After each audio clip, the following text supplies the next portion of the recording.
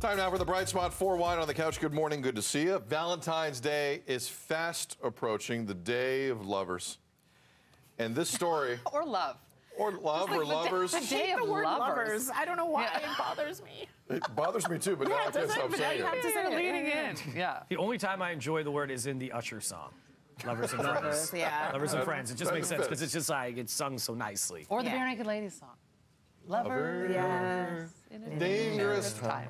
Great remake. Yeah. True. Yeah, good ones. too. The uh, today's bright spot is 11 years in the making. This is nice.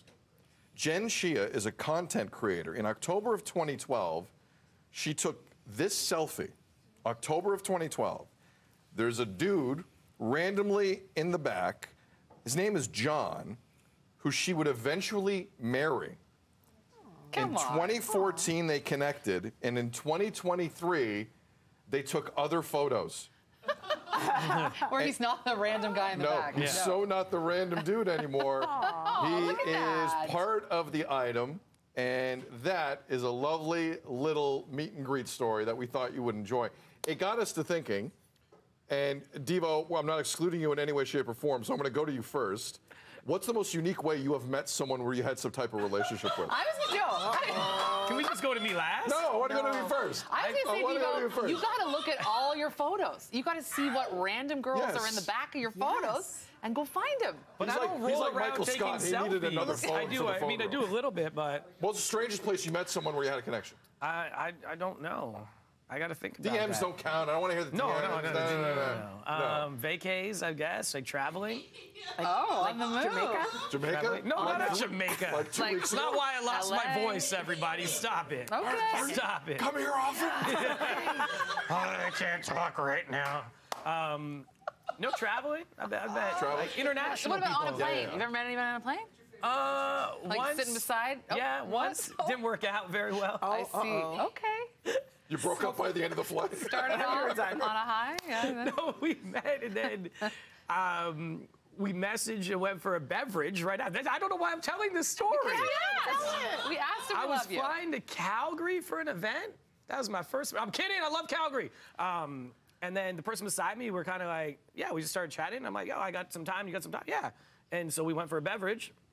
Went well, I thought. And then we text maybe once after that, and then I got ghosted. Oh. Yeah. So you weren't lovers?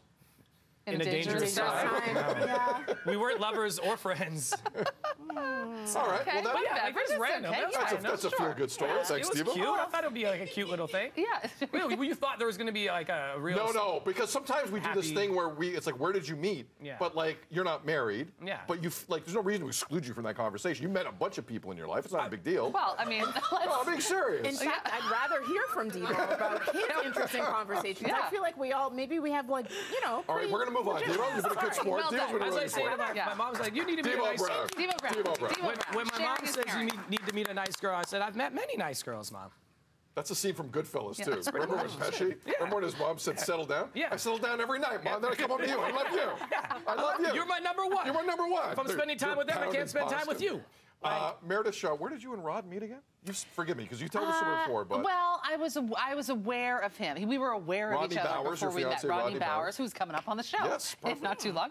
Uh, yeah, we were aware of each other because we were both sort of in television, and uh, I mean, I kind of got to credit Marilyn Denis with introducing us because that's sort of how we met. MD. MD, Making not, not a bad matchmaker. That one and only Marilyn Denis. Yeah, and then it was just I don't know with with Rod it was just it was just go time from the start. Yeah, you just know. I always heard that with people because I met Rod a little later in my life, you know, and uh, I always heard that when you know you know. I'm like really, do you? Is that just what you say? It's true, you do. I knew. And I Uh, was like, oh boy, buckle up. Here we go. Here's life with the love of your life. Yeah. Uh, You, Tammie, how, Tam? how did you notice me again? So we had mutual friends who were trying to set us up for years and never did, just because I was very much against a setup.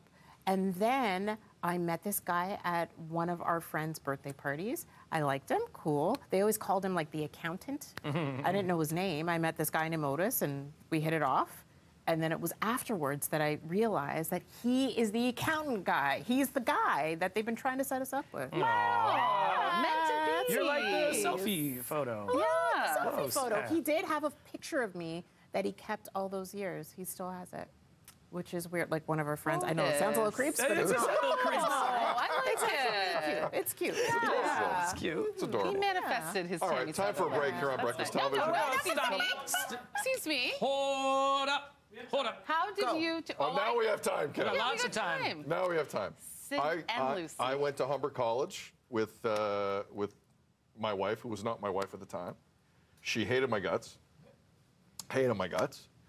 Like thought I was egotistical and all this stuff. Really? It, What? It's, Oh, that's it's, It was. strange. It was. Odd. It was not. You know, I tried to explain Odd. myself as we got to know each but we, but we met at Humber College, and then, but we weren't like, we didn't hang out like that, and then we met at a party after, and then we hung out like that. I see. Wait, wait, college was okay. Well, college It was, was done. over. Oh. I see. College was So done. you're not college Oh. sweethearts. No, but we're college frat party hearts. Right. Because that's where ah. that's where we met after the fact. The better way to So at go. Humber, I got a, a diploma and many other things, and, and a job. Good things. So many things. So many things. It's It's- true. That's a very All of lovely it's true. story. Yeah. Honey, happy Valentine's Day. Love Ah, we love you, Lucy. Bring it around. Come on. All right. You know what? That's just a piece of who we are. Hope you enjoyed it. So romantic, Sid. No, I don't know if I don't know if I go that far. I don't know if I go that far. All right. Uh, coming up later on.